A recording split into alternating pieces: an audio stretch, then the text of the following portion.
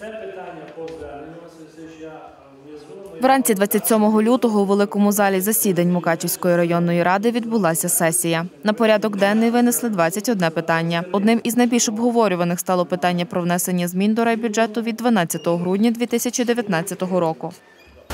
Я вже був начальником відділу освіту, забора немає огорожі десь 15 років.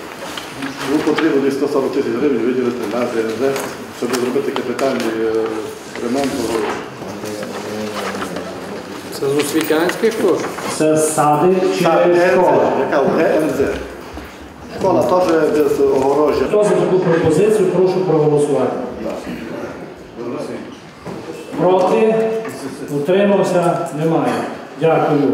Я думаю, економно відноситися до використання цих коштів, тому що гіркий досвід 2019 року повинен піти канути в минуле як неприємний е, випадок. І у мене пропозиція, щоб я дивлюся на виготовлено-проєктних документацій по внутрішніх вбиральних різні ціни ставляться. Якщо для прикладу, одні й ті ж самі е, школи з одною кількістю наповнюваність е, учнів, а сума різна. 100 тисяч, 60 тисяч, 80 тисяч. Е, Працювати над тим, щоб е, дохідна частина у нас збільшувалася, тому пропозиція.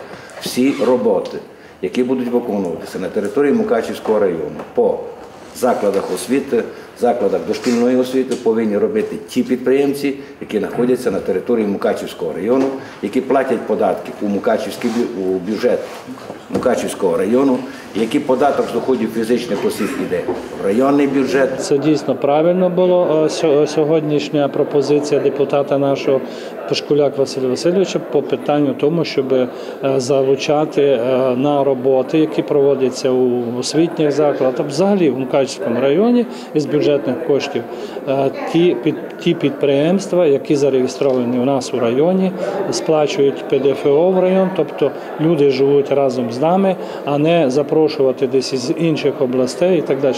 Це йде питання, де не проводиться тендер.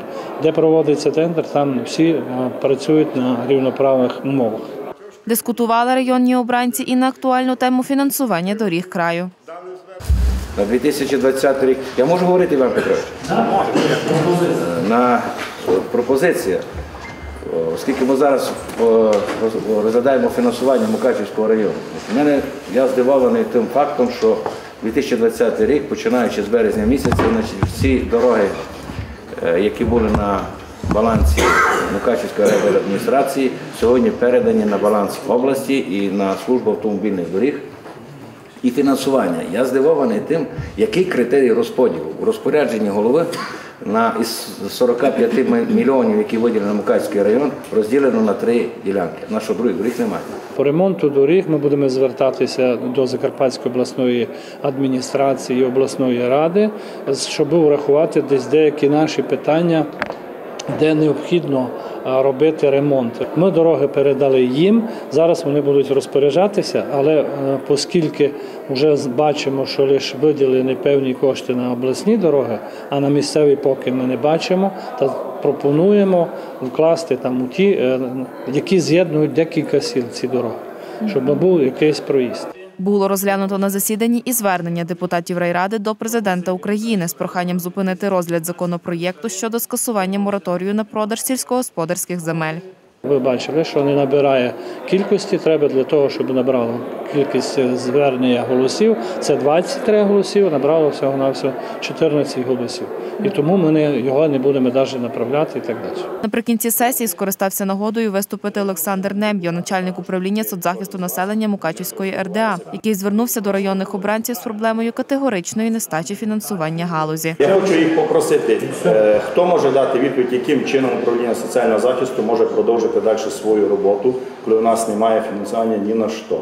Не може так бути, ви фінансуєтеся з державного бюджету. 700 гривень на місяць. Ми маємо голу зарплату. У мене за три неділі звільнилося три чоловіка. Звільнилося спеціалісти, котрі тягнуть нарахування. Три чоловіка звільнилося. Дехто з нас буде змушений виходити за власний рахунок, тому що в нас йде повне недофінансування. Не він має вставати, не він має воювати. Ви маєте вносити пропозиції, вставати і говорити. Я задаю питання куди відноситься ця програма? До програми соціально-економічного розвитку. Була ця програма включена в загальну програму соціально-економічного розвитку, чи не була включена? Якщо не була включена, чому не була включена? Оці питання розглядати. І ви повинні вставати, і ви повинні захищати. Не має вставати керівник.